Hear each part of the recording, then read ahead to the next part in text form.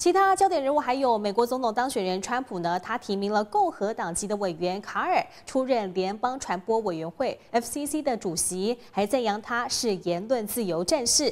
卡尔的反中立场相当鲜明，在2022年曾经访问台湾，强调自由民主的台湾符合美国的经济以及安全利益，要和台湾站在一块儿。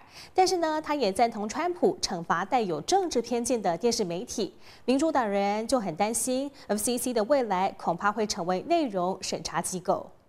A free and democratic Taiwan is in America's own uh, economic and vital security interests. 曾大夸台湾自由民主对美国有利的美国联邦传播委员会 FCC 委员卡尔，获川普提名为新任政府的 FCC 主席。川普在声明中夸赞他是言论自由战士。卡尔的反中立场鲜明，主张对中国电信公司采取强硬态度，并且禁用 TikTok。他也曾在2022年访台，拜会我国 NCC 合数发布，成为首位访台的美国现任 FCC 委员。I think now is more important than any other moment in time that we stand with Taiwan, with the freedom-loving people that are here. 卡尔参与了保守派智库主导的2025计划，主张对 Meta、Google 和苹果等科技巨头进行监管，要他们减少对美国人言论自由的审查，还公开赞成川普惩罚带有政治偏见的电视媒体。If you are holding yourself out there as a neutral platform, at least from a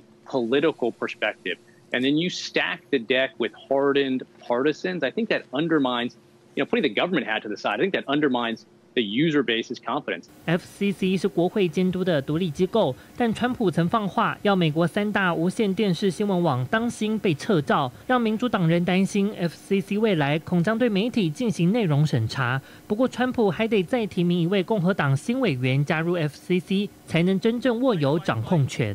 六号编译。